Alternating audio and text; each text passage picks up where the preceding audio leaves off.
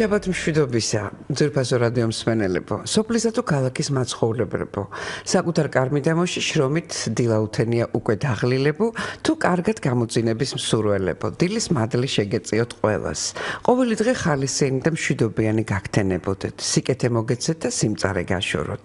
საქმეში ხელი მოგმართოდეთ და თქვენი შრომის დამნახავ დამფასებელიც არ მოკლებოდეთ. აბა გამოუშვი თქვენსკენ ჩემი კეთილი სურვილები. მოკლედ სიკეთე, ხვავი, ბარაკა, ხეირი, საკუთარი თავის რწმენა, მომავლის იმედი, ჯანმრთელობა, წინსვლა და წარმატება და კიდევ ბევრია, ბევრი თუ არა, ცოტა კეთილმოსურნე მაინც. ბევრი თორა ცოტა კეთილმოსურნე მაინც მინდა დილიდანვე კარგ გუნება განწყობაზე დაგაყენოთ და ამიტომაც ვაფრინე ეს სურვილები თქვენსკენ ტრედებებით და მათი დაჭერა უკვე თქვენზე მომინდვია.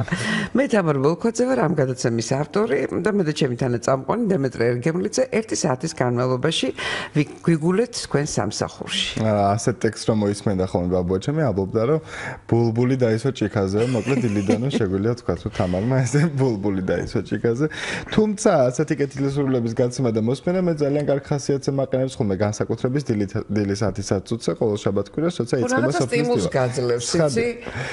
კი. შესაბამისად ისევ როგორც ყოველ შაბათსა და კვირას სოფლის დილა დაიწყო საზოგადოებრივი რადიო რადიო 1-ის ეთერში FM 102-სა და 4-ზე დასაწყისში მოდი შევახსენოთ ჩვენ ტელეფონის ნომრებს მსმენელებს იმიტომ რომ ეს არის ინტერაქტიული გადაცემა და შეგიძლიათ მთელი გადაცემის განმავლობაში დაგვიკავშირდეთ და ჩაერთოთ ჩვენ საუბრებში. ტელეფონის ნომრებია 22919192 და 229192. ასევე შეგიძლიათ გვიყუროთ ჩვენს ვებგვერდზე radio 1.g იქ live stream-ის ფანჯარა პატარა ეს live აწერია და იმას როდესაც დააჭერთ შეგიძლიათ დაინახოთ ყველაფერი რაც ახლა სტუდიაში ხდება. ამავე ვებგვერდზე შეგიძლიათ მოისმინოთ ან ნახოთ გადაცემის ჩანაწერი მისი დასრულებისთანავე თუმცა სანამ დასრულდება ჯერ უნდა დავიწყოთ. ამიტომ ამიტომ მოდი ვეთქვი ჩვენს მსმენელს თუ რას მოусმენს დღევანდელ გადაცემაში. პირველ ბლოკში ვისაუბრებთ კაჭრეთის პროფესიულ კოლეჯში დაგეგმილ ტრენინგ კურსზე ჰასპის და ნერგოსთან დაკავშირებით. მეორე ბლოკს აგროინფოს რაც შეეხება გაგაცნოთ მიმდინარე კვირის აგრარულ ინფორმაციას უკვე მოგვიანებით თამარი გაგვახალისებს თავისი იუმორით. მეოთხე ბლოკში მოგაწვით სასარგებლო რჩევებს მულჩირებაზე ბიომეურნეობაში და გადაცემის დასასრულს როგორც ტრადიციულად ბუხრის პირა ამბებით დავასრულებთ. და დღეს პოეზიას შევთავაზებ. ხო, პროზის ნაცვლად დღეს პოეზიას შევთავაზებ ჩვენს რადიო მსმენელებს. ახლა კი გადაცემაში სტუმრის ბლოკის დროა. დღეს ჩვენი სტუმარი იქნება ასოციაცია მომავლის ფერმერის ხელმძღვანელი ქაბატონი რუსუდან გიგაშვილი. ჩვენი ტელე და რადიო გადაცემის დიდი გულშემატკივარი და რადიო გადაცემის კონსულტანტი ამავე დროს. ჩვენი საუბრის თემა კი გახლავთ ჰასპის ალიანსის აკრედიტებული კურსი ქართული მეწარმეებისათვის. მოგესალმებით კაპიტან რუსუდან. მოდი ჯერ განმარტავ განმარტავ ჩვენს ვენლებს რას ნიშნავს ჰასპის სისტემა. ჰასპი მეცნიერულად დასაბუთებული მართვის ორგანიზებული სისტემა რომელიც საფრთხების დადგენას და მათი კონტროლის შედეგად უნებელი სურსათის წარმოებას ითვალისწინებს. ახლა კი შენ აგვიხსენი რატომ არის მნიშვნელოვანი ქართული აგრომეწარმეებისთვის მისი დანერგვა მოგესალმებით. მივესალმებით თქვენს მსმენელს მაყურებელს ამავე დროს და ყველა სოფლის მეურნეობის ყველა გულშემატკივარს. პირველ რიგში რამდენიმე სიტყვით მოდი ვთქვათ, რას ვაპირებთ და რატო ვაპირებთ. აა ესე იგი ჯერ კიდევ 2012 წლიდან შევიდა კანონში ცვლილება, რომელიც ითვალისწინებდა გარკვეული საწარმოებისთვის, მათ შორის ცხოველური წარმოშობის საწარმოებისთვის აი ამ სტანდარტს, რომელიც არის HACCP-ს, რომელიც ახსენეთ თქვენ და განმარტეთ, HACCP-ს სტანდარტი, ეს არის საფრთხების ანალიზისა და საკონტროლო წერტილების მიკვლევადობის სისტემა, რომელიც სოფლიოში არის აღიარებული. და ჩვენს როგორც ევროპის გზაზე მდგარი ქვეყანა უნდა მიუახლოვდეთ ამ სტანდარტს. ეტაპობრივად, რა თქმა უნდა.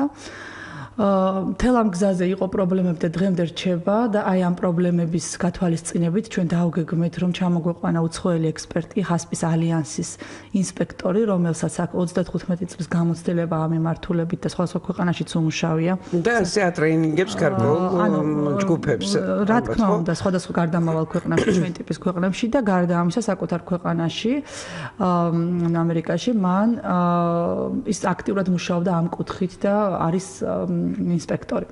რაც ახება თავად ეს კურსი, ეს კურსი მოიცავს ეს არის აკრედიტირებული კურსი, ანუ ყველა იმ კომპონენტისგან შედგება, რაც უნდა იცოდეს დღეს ჰასპის შესახებ ტრენერმა, მეწარმე ინსპექტორმა.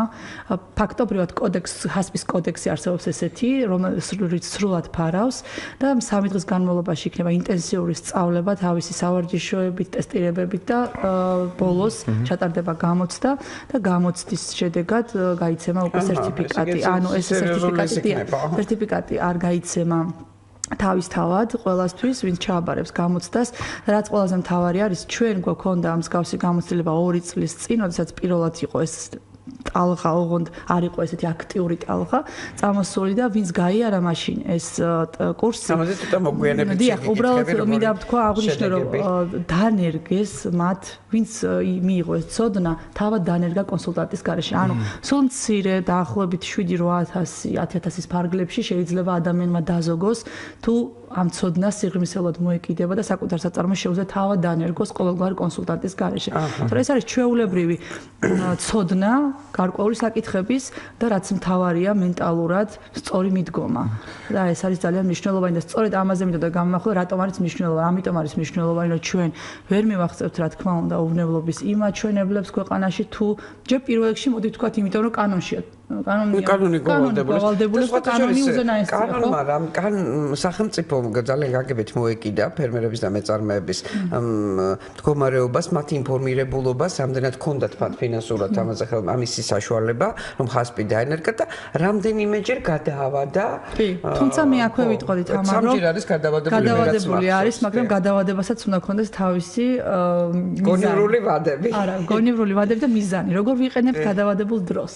ხო ეს არის ყველაზე მნიშვნელოვანი რას ვაკეთებ ამის საშუალება კი თუმცა მე მინდა ვთქვა რომ მაინც არ არის ეფექტურად ეს დრო გადანაწილებული მაინც ანუ თუ ჩვენ ესე ხელაღებით ჩვენთვის ჩვენი პრობლემა რა არის? ხა მე სხვა ქვეყნებში ძალიან ესე ჩაუღრმავდი სულ ახლა ხან მაგალითად სერბეთში ვიყავით და მოვიკითხეთ რა ხდება ამ მიმართულებით და ხდება ის რომ ყველასთვის თანაბრად არ არის სავალდებულო თქვენ წარმოიდგინეთ ხასპი. მიუხედავად იმისა რომ ჩვენზე წინ არის ეს ქვეყანა ჩვენზე ადრე გახდება თქვა ევროკავშირის სროფასოვანი წევრი და იგივე სავიზო ხო ცოტა მოგვიანებით სერბეთის მასაც დეტალურად გამოგკითხავ მსხვილი მეწარმეებისთვის სხვა მიდგომა არსებობს წვრილი მეწარმეებისთვის არსებობს ხასთან მიახლოებული ოღონდ ჰიგიენის სტანდარტი და მთელი თქვა სისტემა ისეთი შექმნილი რომ თავად მეწარმე არის ჩართული ამ ჯაჭვში და შეიძლება ხასპი არ არ იყოს სავალდებულო მაგრამ ჰიგიენის ამაზე. საუბარი მოდი მოდი ბარემ ეს მაგალითიც მოგვიყევი კარგად სერბეთის.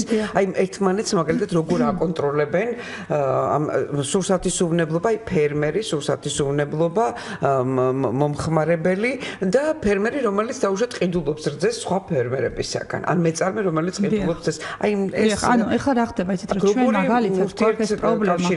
სულ რაღაც ორ წელიწადში ჩვენ ვიდრებით იმ საჭიროების წინაშე, რომელიც დაანონსებულია და კანონშიც ჩადებულია, რომ 2020 წლიდან უნდა მოხდეს უკვე გაკონტროლება ყველა მეწარმეს, იქნება ეს გლეხი, თუ დღეს ამ ამ ეტაპზე გლეხი ვერ კონტროლდება.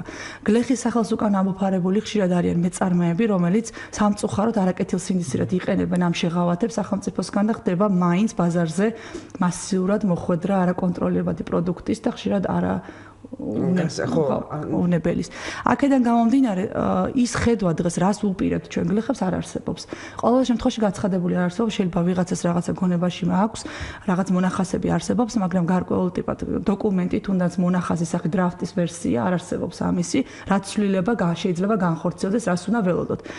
მე ვფიქრობ რომ უკვე უნდა დიფერენცირებულია ხო? ამ სხვილი მეწარმეებისთვის და დაუშვათ წვრილი გლეხური მეურნეობების წარმომადგენლებისთვის და ძალიან მარტივად როგორ ხდება ეს ყველაფერი ხარ იმიქიდან გამომდინარე რომ დრო არ უყაცებს საშუალებას რომ სტად გავშო და თავართებას მე დაუბრუნდეთ. ძალიან მარტივად რომ გითხრათ როგორ ხდება. მეწარმე როდესაც საკუთარი ჩამბარებელი მანქანი შემოივლის თქვა პირობითად რამდენიმე სოფელს და ჩაიბარებს თქვა 500 მეწარმისგან გლეხისგან ცირიფე. იქაც ჩვენაირად არის ესე ორ სამ ძროხიანი ფერმერების სიტუაცია სიტუაცია, ჩაიბარებს მათგან რძეს, ამასთანავე იბარებს ნიმუშებს მცირე დოზი თქვა ნიმუშებს, რომელიც ამ ლაბორატორიული სინჯისთვის, იმ შემთხვევაში თუ ცისტერნა დაუბინძურდა სხვა სხვა პარამეტრები და მათ შორის თან ანტიბიოტიკების ნარჩენები, რაც ჩვენთვისაც ყველაზე მტკივნეულია ერთ-ერთი. აღმოჩენს ვისგან დააბინძურდა. და დიახ, შემდეგ უკვე ლაბორატორად გადააკონტროლებს და ყველა ტვირთს, ანუ მთელ ამ ჯარიმას, მთელ ამ პრობლემებს თავის თავზე იღებს ის გლეხი. თავის თავად უკვე გლეხი მოტივირებულია. არის ძალიან მონდომებული, რომ ეს ეს არის ყოს. ასევე ის დაყონების პერიოდში ანტიბიოტიკი გამოიყენა, სწორად დაიცვას, არ იყოს იქ პარამეტრები შეცვლილი და ასე შემდეგ, ასე შემდეგ იმუშაოს ხარისხიან რძეზე მოკლედ. ეს ერთმანეთს აკონტროლებდა. ამასთანავე ლაბორატორიაში გლეხი ვალდებულია რომ პერიოდის გარკვეული პერიოდის განმავლობაში შეამოწმოს საკუთარი პროდუქტი და ეს ხდება ელექტრონულ სისტემაში მოხვედრა ხდება ამ ყველაფრის და ეს ძალიან კარგად აისახება შემდეგ უკვე შეუძლია ნებისმიერ არა პრინციპში სამიზნე ჯგუფს შევიდეს შეამოწმოს მათ შორის სახელმწიფოს გააკონტროლოს და იცოდეს რომ ესა თუ ის გლეხი რა ტიპის პროდუქტს აწარმოებს და ასევე მეწარმე რომელიც იბარებს მისგან იმისთვისაც ხელმისაწვდომია ჩვენ ჩვენ ჩვენ უნდა ჩამოვაყენოთ ეხლა ორი სიტყვით მინდოდა რა შეიძლება ეხლა დემესჯერია და ისე ერთი ქართულ რეალობას დაუბრუნდეთ და თქვათ რა პრობლემაა საქართველოსში ამ მიმართულებით. თუმცა მანამდე ზარია ერთი მოდი მას მოვსმინოთ დილამშვიდობისა გისმენთ დილამშვიდობის გამარჯობა. დამებით მე ძალიან მიყვარს ეს გადაცემა რჩევები და ორი რაღაც. ერთი ამათინათაც ვთხოვეთ. მართალია დღეს არ არის პროგრამაში მაგრამ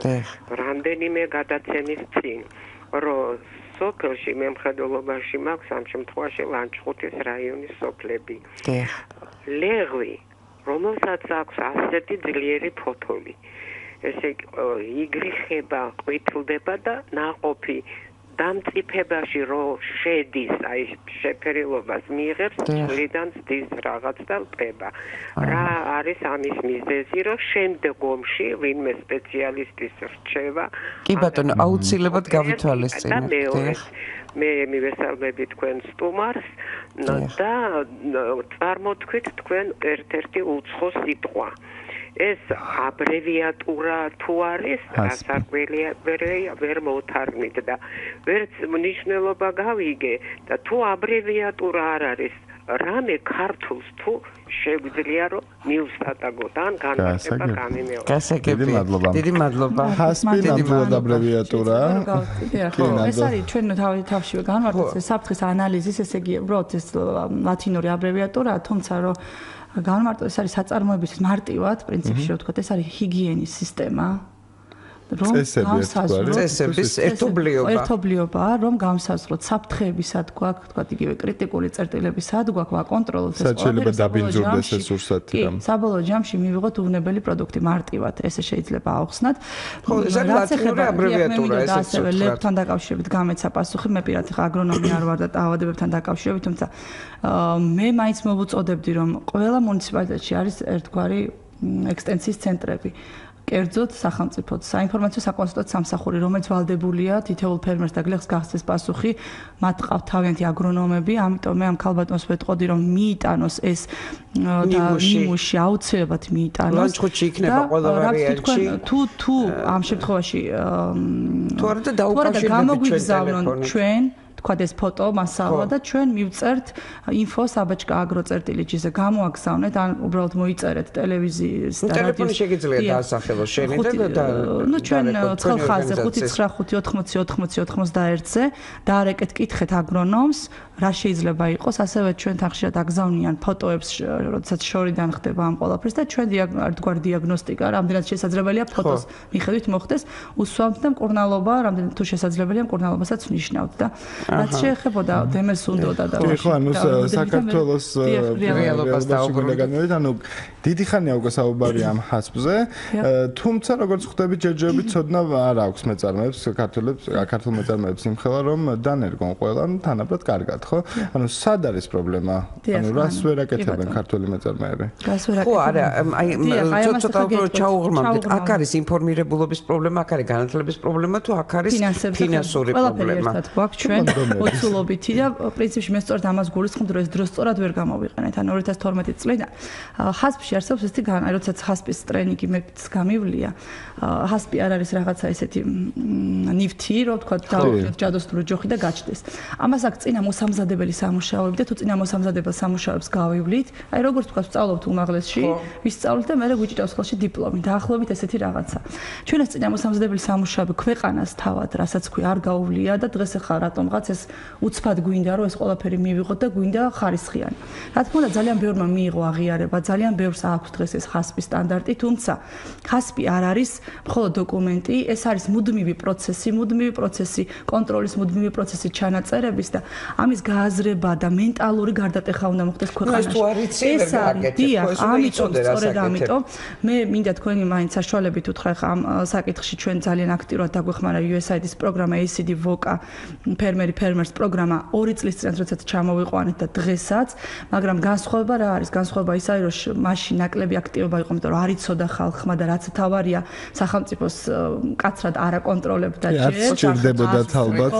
ეხლა დაჭირდა. დღეს როდესაც უკვე ჯარიმების თემა წამოვიდა აქტუალურ და ვისაც არ აქვს ჰასპი დანერგი, უბრალოდ ან ბაზარზე თიშება, ან იხდის ჯარიმას, ან აღიარებას ვერ იღებს, ან გადადის არალეგალურ ბიზნესად, აქედან გამომდინარე, მინდა გითხრათ, რომ 200-ზე მეტი განაცხადი შემოგვივიდა, სამწუხაროდ დავაკმაყოფილეთ მხოლოდ 45 ადამიანის, მეტი ვერ დავაკმაყოფილეთ, იმიტომ რომ შეუძლებელი არის ერთიან მასში მოქნილი და ხარისხენი მიიღო თუ აცდები, თქვა, თუმცა ისე რა კრიტერიუმებით შეერჩიეთ? შევარჩიეთ მხოლოდ მეწარმეები, რომელსაც რეალურად ჭირდებათ და რეალურად პროცესში არიან და არა ისინი, რომელიც ასევე ყავს ინსპექტორები, რომლებსაც გაცილებით მეტად სჭირდებათ ეს ცოდნა, იმიტომ რომ ხშირად არის მეწარმეებისგან მოგვისმენია, რომ ერთი ინსპექტორი მოვა სხვას გვეუბნება, მეორე მოვა სხვას გვეუბნება, ჩვენც დავიბენით და მესამე თვითონ სპეციალისტები, იმიტომ ვინც ნერგავენ ხასს და ამბლობის დიახ, რომელიც სტანდარტებს ნერგავენ იგივე ხშირ შემთხვევაში, აქაც პრობლემები გვაქვს, იმიტომ რომ ძალიან ბევრი ორგანიზაცია გაჩნდა, რომელიც დღეს მეწარმეს თავაზობს, რომ მეთქე დაგინერგავ ჰასპს და თქვა რამდენიმე 1000 იღებს მომსახურებაში, თუმცა მათაც აკლიათ ცოდნა ამ ხრივ. ამოსავალი არის ერთი, მხოლოდ მე მახსოვს მაშინ.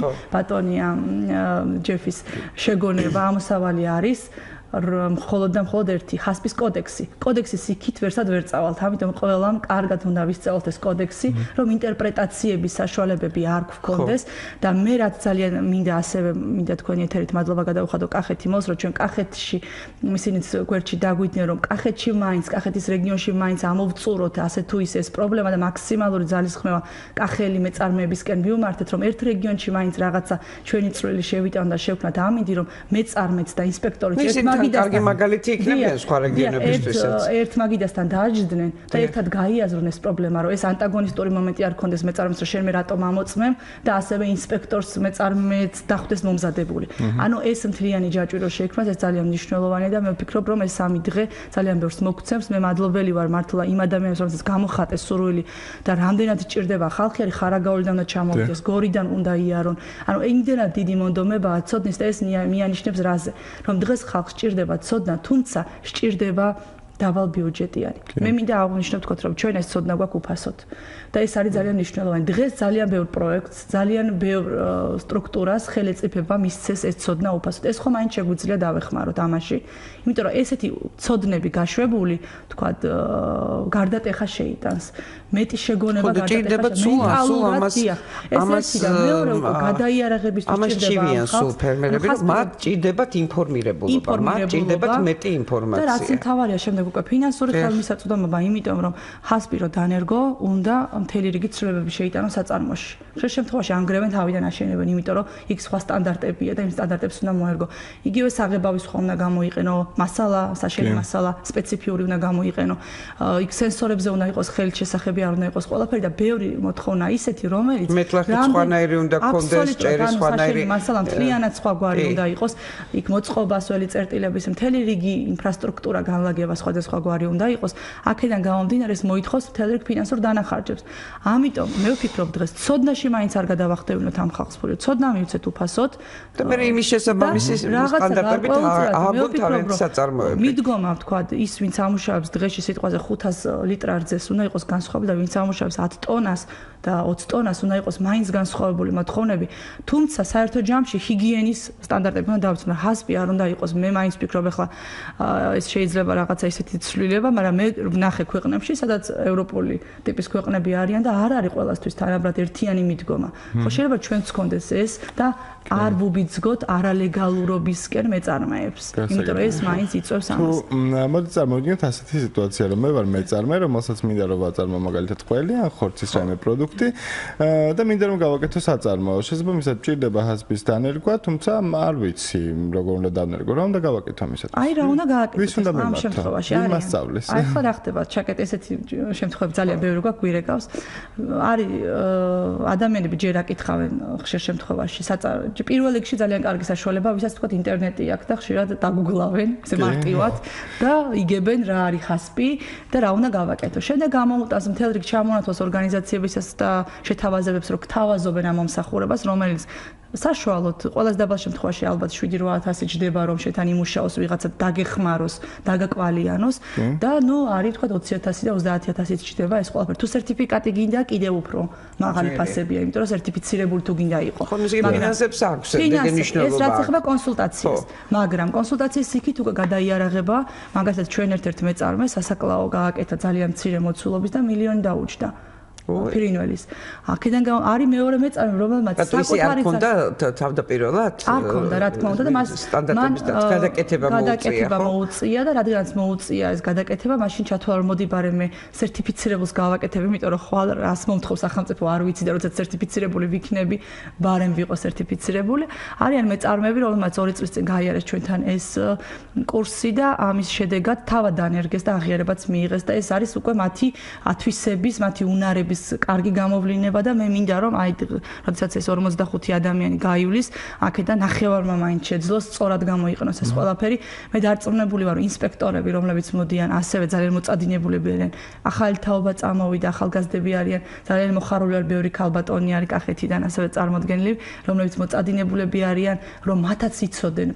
ინსპექტორებსაც აკლიათ იცოდნა იცით, იმიტომ რომ ზუსტად უნებლობაშიც მოვიდნენ თაობა არიანი, რომელთაც არ აქვს ეს ცოდნა და მათაც ჭირდება. ვთქვათ ისინიც მიიღებენ ამ ცოდნას და რა ვიცი ეს და მე თრე მაინტერესებს. მათ ვიძა 2 წლის წინ შეთქვი რომ ის ვინც ჩამოსული ინსპექტორი გავს ჩამოყვანილი ამერიკელი მან დაატრენინგა რაღაც გარკვეული რაოდენობა ხო ადამიანების.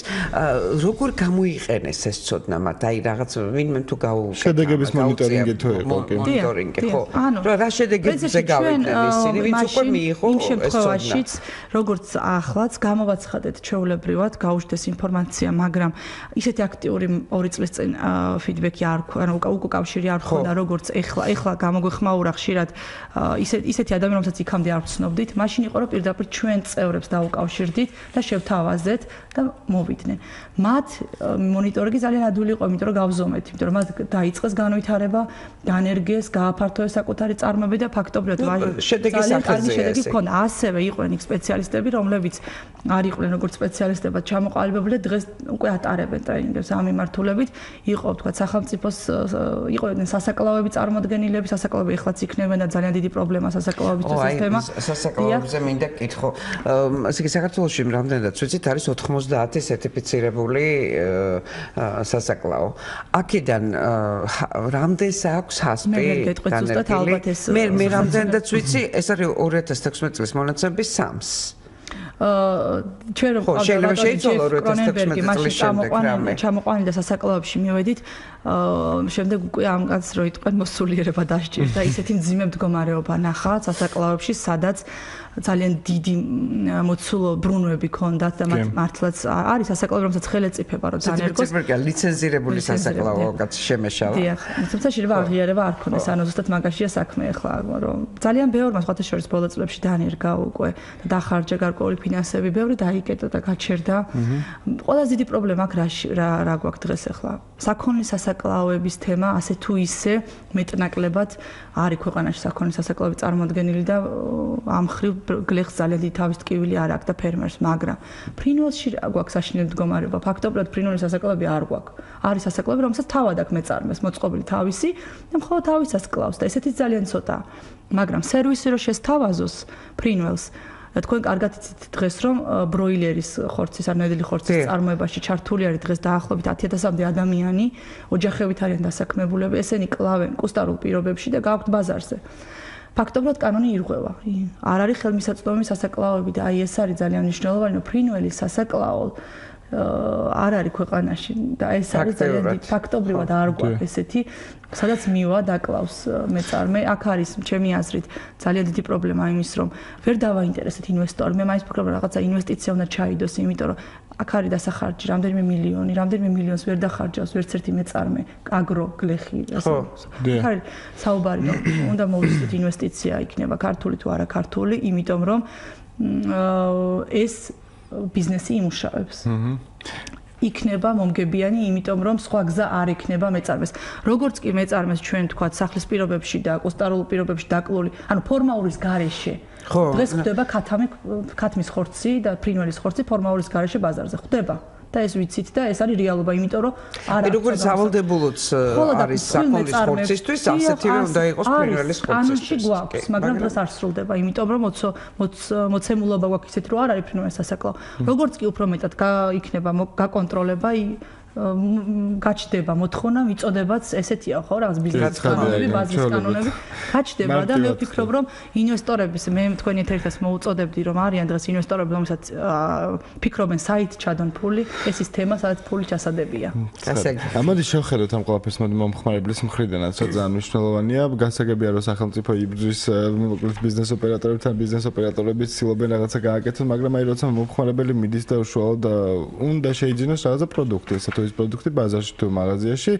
ამ შემთხვევაში როგორ უნდა დაიცვას თავი იმისგან, რომ მან რეალურად ისეთ საწარმოზე წარმოებული პროდუქცია შეიძინოს, სადაც ეს ჰიგიენის წესები არის დაცული.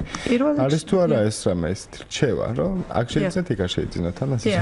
ნუ ეს შეიძლება ჩვენი მსმენელებს გვეკითხებიან ხო? ანუ პირველ რიგში ყველაზე მთავარი რაც არის და მე ყოველთვის ამას ვამბობ რომ გარე ვაჭრობის პირობებში და იქ სადაც არ არის სტანდარტები დაცული და პრინციპში ყოველას აქ იმდენი მე ამის იმედი მაქვს მომხმარებელი ინდონეზიაზე მაინც უნდა მივახციოთ ყოველ შემთხვევაში ინდონეზია იყოს გაცნობიერებული რომ ქუჩაში მიწაზე დაყრილი პროდუქტი არ შეიცნოს. განსაკუთრებით თუ ეს არის ცხოველური წარმოშობის პროდუქტი. ასევე მანქანის ავარგულებიდან არ შეიძლება შეძერა არანაირი პროდუქტის ეს უბრალოდ იმდენი დაავადება შეიძლება იყოს დიახ, იმდენი პირობები შეიძლება ავტოფარეხებში შეიტანეს. თუ არ არის შენახვის პირობები დაცული, ეს პირველი რაც ეხება გარევაჭრობის თემას და რაც შეეხება ჩეულებრივად მარკეტებში, სუპერმარკეტებში და ბაზრების პირობებშიც, ამ შემთხვევაში აუცილებლად უნდა მივაქციოთ ყურადღება ეტიკეტს და პრინციპში უნდა მივიდეთ ბოლომდე იმას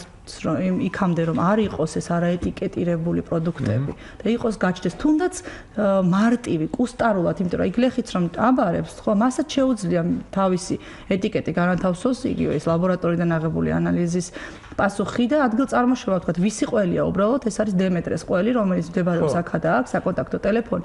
და შესაძლოა მე მაინც ვფიქრობ აქ კარგი პოპულარიზაცია საჭირო არის იმიტომ რომ შესაძლოა უფრო მეტად დაინტერესებულები იყვნენ სხვათა შორის ამ ბოლო დროს მივაქცია ყურადღება რომ უფრო მეტი ესეთი უცხო სახელის ყველი მხვდება უკვე ასეთ ვისე მარკეტებში. და ეს ძალიან კარგი იმიტომ რომ უფრო მეტი ბრენდირება უკვე და ადგილ წარმოშობის ეს რაც მეტად დაინტერესებია მე წარმები ამით იქამდე ფიქრობდე რომ ეს მაინც გასაყიდად მინდა. დღეს ესე არ იქნება.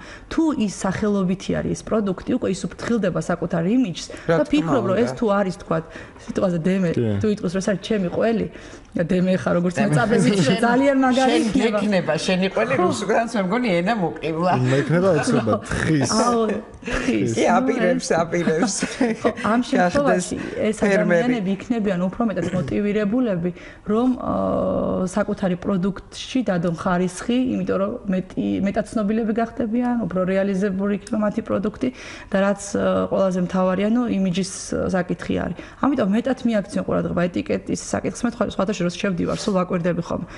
აიღებენ პროდუქტს და არ აკვირდებენ ვადებს. ვადებსაც აუცილებლად უნდა შევხედოთ, იმიტომ რომ ხშირ შემთხვევაში გვხდება ხა განსაკუთრებით პატარა მარკეტებს თუ ავიღებთ, მაინც ცდილობენ, რომ რაღაცა გაძვენ, გამოჩენ და არ ჩამოწერონ, არ ჩამოწერონ ეს გადაგასული პროდუქტები. ამიტომ მომხმარებელი უნდა იყოს დღეს თვითონ ყველაზე კარგი მაკონტროლებელი. იმიტომ რომ სურსათის უვნებლობას დღეს იმდენი კი, ძალიან ბევრი პრობლემა მაქვს და პირველი მაკრიტიკებელი მე მგონი მე ვარ, მაგრამ ისიც უნდა აღვნიშნო, რომ სურსათის უვნებლობას იმდენი რამე აქვს დღეს რო იტყვიან ზურგზე აკიდებული, რომ ლამის ერთ სამინისტროზე მეტი და კი, უნდა აკეთოს თავის გასაკეთებელი ეს მისი საქმეა, მაგრამ მომხმარებელმაც უნდა აკეთოს. მომხმარებელს უნდა გაიზარდოს. დიახ, ამიტომ ჩვენ უნდა გავიზარდოთ. მე ასევე მოუწოდებდი, რომ გავხდეთ ისე, თუ გვინდა რომ მათ ევროპელები ვიყოთ, რასაკეთებს დღეს ევროპელი მომხმარებელი? ნახა დარღვევა, რეკავს ხელხაზე და ატყობინებს. ეს არ არის ცუდი გადაწყვეტილება. ეს ნუ ვიფიქრებთ რომ რაღაცა ქართულ ქართველობაში ვერ ჯდება ეს გადაწყვეტილება, იმიტომ რომ ძალიან ბევრისგან მომისმენია. უი, აი ეს რაღაცა მე რატომ არ დარეკეთ ხელხაზე? არა, ეხა შემეცოდა ის მეწარ. იცით რა, ამ შემთხვევაში ადამიანის ჯანმრთელობაზეა, ჩვენ შვილების ჯანმრთელობაზეა, იმიტომ რომ ერთხელ ერთხელ თუ გავატარებთ იმის დარღვევას, მეორე თუ გავატარებთ ის მიეჩვევა და ძალიან ცუდი. ამიტომ მომხმარებელი უნდა იყოს მაქსიმალურად ჩართული კონტროლის პროცესში, დაინახა დარღვევა, დარეკე, გადაუღე სურათი, ატვირთე. აი ასე იმუშავა ევროპამ, ასე გააკეთა. ეს არ არის ცუდი ტონი, მე კიდევ ეს არის ის გზა, რომელიც უნდა ჩვენ თვითონ გამოვასწოროთ ჩვენივე და ნაკლოვანებები ცვლილებები და მენტალიტეტში შევიტანოთ ცვლილებები, იმიტომ რომ მარტო კონტროლი და ესეთი მკაცრი ჯოხი ამას ვერაფერს ვერ უზავს თუ განერტატე ხარ მოხდა ჩვენ აზროვნებაში. ჩვენ არ ვისწავლოთ კეთილსიდისერად დავამზადოთ, კეთილსიდისერად მოხსვარებთ ძროხა და საკუთარი უფლებები და მეწარმემ და ფერმერმა, ფერმერი კი უნდა იყოს ბევრად უფრო მეტად ინფორმირებული და განათლებული. დიახ, ამიტომ არის თქვენი როლი ყველაფერი მიდის ყველა გზას განათლებისკენ მიყავა. პრინციპში მე ესე დასკვნის სახით ვიცით რომ ძალიანაც არ შეგაწყნა თავი მნიშვნელოვანი არის რომ სოფლად იყოს საბოლოო ჯამში. ექსტენსია ხელმისაწვდომი და მასიური პროპაგანდა იყო ის ყველა თემა ყველა მიმართულები რაც დღეს ფერმერს ჭირდება პროგრამები იქნება თუ ჰიგიენის საკითხები თუ ასე შემდეგ. და ასევე ის რომ აგრომედია რომ ეს დღეს თქვენ ხართ და რამდენიმე ასულდა თიძე ჩამოსათვლელია ქვეყანაში იყო შენერჩუნებული განვითარებულები და გამრავლებულები. ეს არის ყველაზე მნიშვნელოვანი იმიტომ რომ დღეს ყველაზე დიდი ექსტენსიის გამწევები თქვენ რჩებით იმიტომ რომ იქ როდესაც ვერ მუშაობს ექსტენსიის სამსახური. აი დღეს მაგალითი იყო, უბრალოდ დარეკა მომხმარებელმა და იკითხა ლეღვი. ლეგვის თემა, რატომ უნდა დარეკოს, თქვა, რომ ნორმალურ ქვეყანაში არ უნდა ეკითხებოდა ჟურნალისტს, მე რა უყო ლეღვს, ხო? იმიტომ რომ უნდა გვერდზე ყავდეს აგრონომი და აგრონომის რჩევა უნდა მიიღოს. თქვენ შეიძლება შეგეკითხოთ ისეთი თემები, რომელიც შეეხება აგრომედიას და არა თქვა ესეთი ტიპის რაღაცეები. ასევე მე ძალიან ვწუხარ რომ დღეს ბიუჯეტი იხარჯება გამოდის სახელმწიფო გამოცემს გაზეთს უფასოდ ავრცელებს ამ გაზეთს ხერჯა ხარჯავს ბიუჯეტის თემას. სვენელი ყავს ხაზზე გაზეთს მაინტერესებს როგორ ხდება მისმენთ ალო. დიახ ისმენთ დილამშვიდობისა გამარჯობა. ასეთი მზიანი ქონოდეთ სულ თქვენ ყველას. გაიხარეთ ქალბატონო. მოგესალმებით მაგრამ ეხლა ერთი შეკითხვა მაქვს. შეკითხვა არ არის უბრალოდ ინფორმაცია მაქვს. კი ბატონო. აი რამდენიმე თქვენ გადაცემაში მოვისმინე, გამოვიდა ერთი რომ თხილის ხეები რამდენიმე წელიწადია დასავლეთში ძალიან ცუდ მდგომარეობაშია. მართალია. ეხლა გეკითხებით, აგრონომები თუ არიან იმ სოფლებში? აი, რამოდენიმე წლის წინ ერთხეს რო დაემართა ესეთი რაღაცა და ორხეს, ხო? არ შეიძლებოდა მიექციათ ყურადღება, მაგრამ არ არის აგრონომები, საერთოდ სოფლებში აღარ არიან. კაბატონო, ჩვენ რამდენადაც ვართ ინფორმირებულები და საქმის კოში, იმიტომ ჩვენ გადავიღეთ, ჩვენ ვაკეთებთ გადაცემა ფერმასაც, რომელიც საზოგადოებრივ მაუწყებლის ეთერში გადის ყოველ კვირა დღეს 12 საათზე და 45 წუთზე და თხილის თემას მიუძღვენით ძალიან ბევრი გადაცემა. შარშანდელი. არა, არა, მე სხვა რამეს გეუბნებით, კაბატონო, შარშანდელი, აი ის რომ თხილს ქონდა დაბალი ფასი, ის რომ თხილს გაუჩნდა ნაცარი, ის რომ თხილს გაუჩნდა დაავადება, როგორც თავად მეთხილე ფერმერებმა აღიარეს დასავლეთ საქართველოსი მათ პრევენციული ზომები, ანუ თადარიგი დროულად არ დაიჭირეს, რომ შეატყოს ნაცარი გაუჩნდა, არ შეიტანეს ის პრეპარატები, რაც უნდა, რითაც უნდა შეეწამლათ. ანუ აქ მარტო აგრონომების პრობლემა კი არ იყო, თავად მეთხილე ფერმერების ცოტა წაუყრუეს, ასე ვთქვათ, ამ პრობლემას თვალი არიდეს და შემდეგ უკვე მიიღეს ზარალი. ანუ წელს სხვა შეიძლება ბევრი ფერმერი ამბობდა იმას, ყოველ შემთხვევაში ჩვენ ვინც გადავიღებთ, უმეტესობა ამბობდა, რომ შარშან საკმაოდ ვიწუნიეთ ჩვენ ეს უყურადღებობა. უყურადღებობა ჩვენს მიერ გამოჩენილი და მომავალ წელს თადარიქს თავიდანვე დავიჭერთ. აი ეს მე რასაც დაიწყდა ეხლა კიდე მაპატის რა ერთი სათქმელი მაქვს თუ შეიძლება ერთი წუთით. მე თითქმის სოფელში გავიზარდე 80 წლის ადამიანი ვარ ისეთი მოსავალი მოდიოდა ყოველთვის ამ სოფლებში. ამიდორი კიტრი სიმიდი რა გინდოდათ მე ქონდათ იქვე ბაზარში გასაყიდად ეხლა მესმის რომ აი ევროპაში მიდიან რომ გაიგონ როგორ ხდება იქ ეს ყველაფერი? ძალიან მიკვირს იცით? აი ძალიან მიკვირს ისეთი პამიდორი მაშინ რომ მოდიოდა ჩვენთან და ისეთი ხეხილი და ისეთი ყველაფერი ეხლა არ არის. და ვეკითხებით ევროპას და ამ ევროპის მოსმენა მართალი გითხრათ. ევროპის ამერიკის და ნატოს მოსმენა ყოველდღე ამოვიდა აი აქამდე რა შეუძლებელია ძალიან დიდი ბოდი. გასაგებია ხალხო. შეიძლება მე ჩემ ხრებო პასუხებდი. აქ არ არის საუბარი, ჩვენ შეგვიძლია თქვა ევროპას არ მოვუსმინოთ, მაგრამ ჩვენ პრობლემა გვაქვს რას? ვერ ვაკმაყოფილებთ ჩიდა ბაზარს. აქ არ არის ლაპარაკი. თქვენ მაინც იხსენებთ კომუნისტების პერიოდს, როდესაც იმ შემთხვევაში იყო თქვა საბჭოთა კავშირი და იყო ერთიანი დიდი ბაზარი და პრინციპში მოგვეწოდებოდა სხვადასხვა ქვეყნიდან, იმიტომ რომ ვერც მაშინ მაშინაც არ ქონდა თვითუზრუნველყოფა და დოტაციური იყო და სხვა სისტემა იყო. დღეს სხვა სისტემაზე ვარ, სხვა რეალობაში ვარ. ამ რეალობას თვალიდან გაუსწოროთ. პრობლემა არის, რომ ჩვენ ბაზარს ვერ ვაკმაყოფილებთ დღეს. იგივე პომიდორთან დაკავშირებით, რატო შემოდის თქვა თურქული პომიდორი, როდესაც შეიძლება რომ თვით ან ესე გვაქვს თვითუზრუნველყოფის პრობლემა. არ მოდის ჩვენთან საკმარის.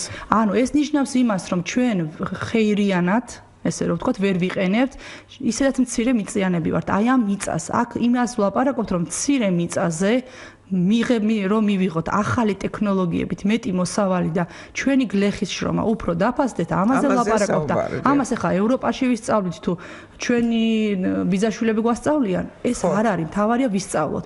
უბრალოდ ის ძველი ტექნოლოგიები ვეღარ გვაძლევს. შეიცვალა სიტუაცია შეიცვალა სათესლე მასალა შეიცვალა სანერგია მასალა.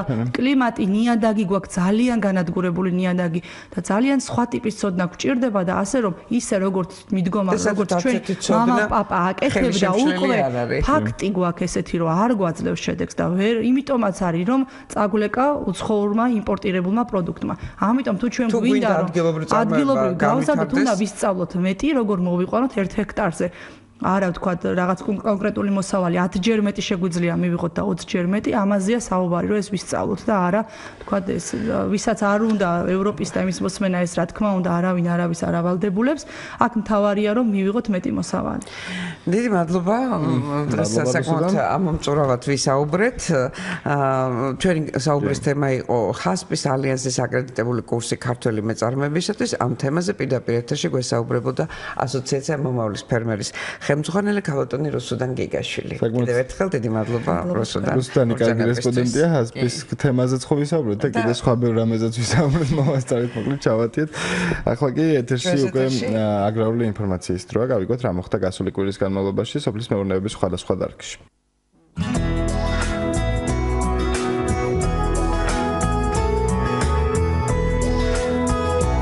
აგროინფო როგორც აღმოჩნდა ქართული ფურისულათი გერმანული მედიკამენტები დამზადდება. სამკურნალო ბალახის პირველი პარტია ექსპორტზე უკვე გავიდა. როგორც სოფლად თემთა განვითარების სააგენტოს ტყის არამერქნული პროდუქტების სპეციალისტმა ლადო ბასილიძემ განაცხადა, აღნიშნული ფურისულა ექსპორტზე კომპანია კახეთი ბიომ გაგზავნა. პროდუქცია პარტნიორმა გერმანულმა კომპანიამ შეიძინა, რომელიცაც მრავალწლიანი პარტნიორობა დაიწყეს. ფურისულა საგან ბავშვებისთვის გაცებისა და ყველის საწინააღმდეგო მედიკამენტების დამზადებას გეგმავს. თავად კახეთი ბიოსკი ფურისულა მცხეთა მთიანეთის რეგიონში ქალთა კოოპერატივებმა შეუგროვეს. პროდუქცია აპრილის თვეში და მაისის პირველ ნახევარში შეგროვდა აღნიშნა ლადო ბასილიძე. მისივე ინფორმაციით გერმანული კომპანია ახლოს პერიოდში საქართველოს განტყის სხვა არამერქნული პროდუქტების შეძენასაც გეგმავს. მალე ქალთა კოოპერატივები კრაზანას ასკილისა და ხილკენკრას შეგროვებას დაიწყებენ, რაც შეეხება სამომავლო გეგმებს, სოფლად თემთა განვითარების სააგენტო ტყლაპის, ჩირისა და ცუკატის წარმოებასაც აპირებს. პროექტის ფარგლებში მცხეთა-მთიანეთის რეგიონში ჩამოყალიბდა ხუთი ქალთა კოოპერატივი, ისინი უზრუნველყოფილია მცირე საწარმოებით, ხილისა და ბოსტნეულის მზის ჰიბრიდული საშრობით და მზის წყლის გამაცხელებლებით. აი ესეთი საინტერესო ინფორმაცია, ესეთი აქტივობები არის მცხეთა-მთიანეთში. კი, კიდევ ერთ პროექტს შევეხოთ, რომელიც ხორციელდება საქართველოში, დანერგემა მოვალ სკოლის ხმობ, მის ფარგლებში მცხეთმთიანეთის რეგიონში სოფელ ქსოვრის შიშებს და ქართული ხილის კომპანიამ ვაშლის ბაღი გააშენა. აღნიშნული კომპანია პროგრამაში 2015 წელს ჩაერთო და ნერგების შეძენისათვის 100.000 ლარის ოდენობის სახელმწიფო დაფინანსებაც მიიღო. სოფლის მეურნეობის პროექტების მართვის აგენტოს დირექტორის მოადგილემ გიორგი ჯიბლაძე ადგილობრივი თვითმმართველობის წარმომადგენლებთან ერთად გასულ კვირას სწორედ ეს 10 ჰექტარზე გაშენებული ბაღი დაათვალიერა. პროექტის დანერგე მომავლის ფარგლებში საქართველოს მასშტაბით ხეხილის ახალი ბაღები 3492 ჰექტარზეა სულ გაშენებული და სახელმწიფო დაფინანსების მოცულობა 17000 მილიონ ლარზე მეტია. აქედან მცხეთამთიანეთის რეგიონში ხეხილის ბაღები 55 ჰექტარ მიწის ფართობზე გაშენდა. საქართველოს რეგიონებში ციფრული გადამზადების ცენტრები გაიხსნება. პროექტის მიზანია რეგიონებში მოსახლეობისათვის ხელმისაწვდომი გახდეს ის ცოდნა, რომელიც მათ საინფორმაციო ტექნოლოგიების სფეროში ეგრეთ წოდებული დისტანციური დასაქმების საშუალებას მისცემს. პროექტი კერძო კერძო სექტორის აღმასრულებელი და საკანონმდებლო ხელისუფლების პარტნიორობით ხორციელდება. სამუშაო სივრცეების შექმნით სოფლად ცხოვრებ ახალგაზრდებს საშუალება მიეცემათ თავიანთი ნიჭი გამოავლინონ. პროექტის საპილოტო ვერსია კასპის ბიზნესისა და ტექნოლოგიების გადამზადების ცენტრის საფუძველზე ჩატარდა, რომლის პირველი ეტაპი წარმატებით დასრულდა და მეორე ეტაპის განხორციელება დაიწყო. სწავლები ხელმისაწვდომი იქნება ზუგდიდის ტექნოპარკში, ასევე ბაღდათის ხარაგაულისა და სოფელ ჭოპორტის ბიბლიოთეკების ინოვაციების ცენტრებში. მოსარგებლეების გადამზადება მოხდება როგორც ონლაინ სწავლების მეთოდოლოგიებით, ისე ცენტრების ბაზაზე ჩატარებული სემინარების საფუძვლად. მე ხარ ეს ეს ამბები რო ხდება რეგიონებში. აჰა, და დროარი უკვე გადავიდეთ მოსარგებლო რჩევებზე. თუ მანამდე აა, მანამდე იუმორი. ჩვენი რადიოს მენელები მე მგონის აგრარული ინფორმაციით საკმაოდ დაატვირთე და ჩვენო მსვენელებო ახლა კი დროა განგტვირთოთ და რა თქმა უნდა ყველაზე კარგი გამტვირთველი არის იუმორი. მოკლედ რამდენიმე იუმორისტულ ამბავს და ერთ ორ ანეკდოტსაც მოგიყვებით. საბჭოთა კავშირის პერიოდია და რუსეთის ერთ-ერთ ქალაქში ავტორალიში შეჯიბრი ტარდება.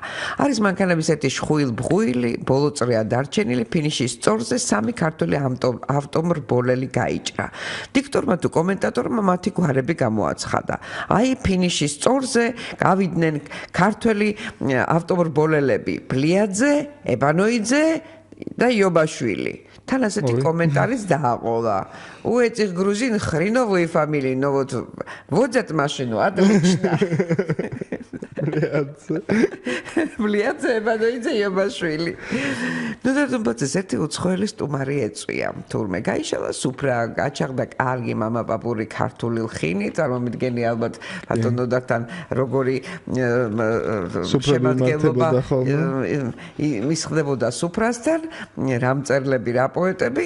სტუმარს ხან ღვინო შესთავაზა ავაზა მასპინძელმა ხან არაყი და კონიაკი სტორმანმა ყველა სასმელზე უარი განაცხადა და მხოლოდ ჩაი მოითხოვა. ისეც ხაზგასმით ცხელი და კაპკაფა.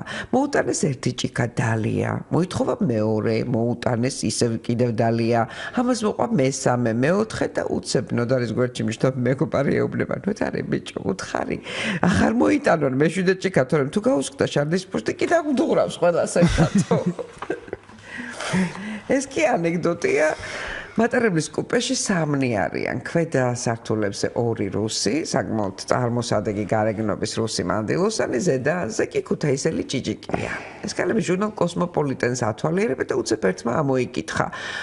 და თან მეგობარს ეუბნება, ნახე როგორი რაღაცა წერია თურმე ყველაზე სექსუალურები ინდიელი მამაკაცები ყოფილან, ყველაზე მაღალი ოსტატობით სექსში კი ებრაელები გამოვირჩევიანო. რა საინტერესოა, ნეტა ვინ არის კუპეში ჩვენი მეზობელი? ეროვნებით, მოდი გავიგოთო.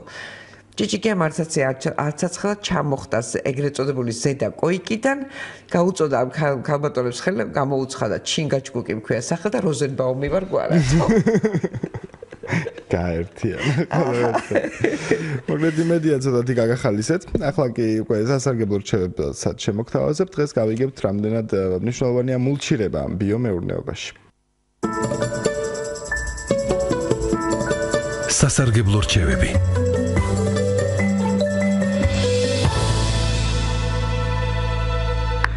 ბუნებაზე დაკვირვება და ბუნებრივი კანონზომიერების გათვალისწინება ბიომეურნეობების ერთ-ერთი ძირითადი პრინციპია. სწორედ ბუნება უკარნახა მეურნეს მულჩირების მეთოდი, რომლის დროსაც ნიადაგი მცენარის გარშემო იფარება სხვადასხვა მასალით. მართლაც ტყეში ხეების, ბუჩქებისა და სხვა მცენარეების ქვეშ ნიადაგი ყოველთვის დაფარულია გამხმარი ფოთლებით, ხავსით, მკვდარი მცენარეული მასალით. სწორედ ეს ბუნებრივი საფარი იცავს ნიადაგს გამოშრობისა, ზგან ჩარეცხვისა და ეროზიისაგან. ნიადაგის მულჩირება შესაძლებელია სხვადასხვა მასალითა და სხვადასხვა მიზნით. მულჩირებისათვის გამოიყენება როგორც დაქუცმაცებული ტორფი, გადამწვარი ორგანული მასალა, მარცვლეული კულტურების ნამჯა, ჩამოცვენილი ფოთოლი, ასევე ნახერხი, ბალახი, მუყა, ქაღალდი და სხვა. მულჩირებისათვის მასალის არჩევა დამოკიდებულია ნიადაგის ტიპზე, კლიმატსა და მულჩირების მიზანზე. მულჩი თრგუნავს სარეველების ზრდას, იცავს ნიადაგის ტენის ტენის ჭარბი აორთქლებისაგან, ასევე არეგულირებს სითბურ რეჟიმს. საფხულში ნიადაგი ნაკლებად ხურდება, ხოლო მცენარის ფესვებთან ახლოს შექმნილი ტენიანი გარემო ხელს უწყობს მცენარის ზრდას. სამთაში კი ნიადაგი უკეთ ინარჩუნებს სითბოს. ორგანული მასალით მულჩირება ნიადაგის სტრუქტურის გაუმჯობესების კარგი საშუალებაა. გარდა იმისა, რომ მულჩით დაფარული ნიადაგი დიდხანს ინარჩუნებს სითბოს, ტენსა და ფხვიერებას, სწრაფად ხდება ნიადაგის ჰუმუსის ფენის აღდგენა. მულჩის ქვეშ იქმნება ოპტიმალური პირობები მიკროორგანიზმების ცხოვრმყოფელობისათვის. ისინი გადაამუშავებენ ორგანულ მულჩს და ამდიდრებენ ნიადაგს. ორგანული მულჩი აძლიერებს ნიადაგში მიმდინარე სასარგებლო ბიოქიმიურ პროცესებს, რის შედეგადაც უკეთესად უკეთესდება მცენარის კვება და მცენარე ძლიერდება. ორგანული მულჩი, ორგანული მულჩი ახერხებს ზოგიერთი დაავადებისა და მავნებლის ზრდა განვითარების მაგალითად კოლორადოს ხოჭოს ხოჭო გაურბის თემისაგან დამზადებულ მულჩს. კი, კი, და არა არა მხოლოდ ის. მიზანშეწონილი არა მულჩირება ადრე გაზაფხულზე, როცა მიწა ჯერ კიდევ არ არის გამთბარი, ეს გამოიწვევს პობას, მით უმეტეს წვიმიანი გაზაფხულის პირობებში. მით უმეტეს ახლა ესეთ წვიმიანი კი, ზაფხული, ზაფხული, ზაფხული გვაქვს. დაელოდეთ მიწის კარგად გათბობას და მხოლოდ შემდეგ შეუდექით მულჩირებას. ნიადაგი წინასწარ გაასუფთავეთ, მოაცილეთ სარეველები, ხმელი ტოტები, ფოთლები, შემდეგ ნიადაგი გააფხვიერეთ, მორწყეთ, თუ ზედაპირი მშრალია და შემდეგ დაიწყეთ მულჩირება. შეეცადეთ მულჩირებისათვის განკუთვნილი მასალა არ შეიცავდეს სარეველების თესლს. მასალა წინასწარ კარგად დააკოცმაცეთ. თუ მულჩირებისათვის იყენებთ მწვანე მასა, შეეცადეთ იგით ხელფენად დაალაგოთ. ხმელი მასა, ან მაგალითად თივა, შეიძლება უფრო სქელფენად დაეფინოს, მაგალითად 2-დან 10 სანტიმეტრამდე სისქეზე. შემოდგომით მულჩი შეგიძლიათ ჩახნათ ნიადაგში, ან გაზაფხულამდე დატოვოთ. თუ მულჩს დამთარში დატოვებთ, იგი ხელშეუწყობს ჭიაყელებისა და ნიადაგის სასარგებლო მიკროფლორის გამრავლებას, რაც ნიადაგს ჰუმუსითაც გაამდიდრებს და სტრუქტურასაც გაუმჯობესებს. ჭიაყელა ყველაზე კარგი მიწის ყველაზე კარგი სანიტარიაო, როგორც მსმენია აგრონომებისა. რაც უფრო მეტი ცოცხალი ორგანიზმია ნიადაგში, მით უფრო კარგი ამბავი ხდება ნიადაგისთვის. ახლა კი გადაცემის ბოლოს ლიტერატურის მოყვარულებს ბუხრის პირა ამბებში, ამბების რუბრიკაში ჩემს პოეზიას შემოგთავაზებთ. დიამონებით. რამდენიმე ლექსს აგიკითხავთ. შეუკრავით ასმებით.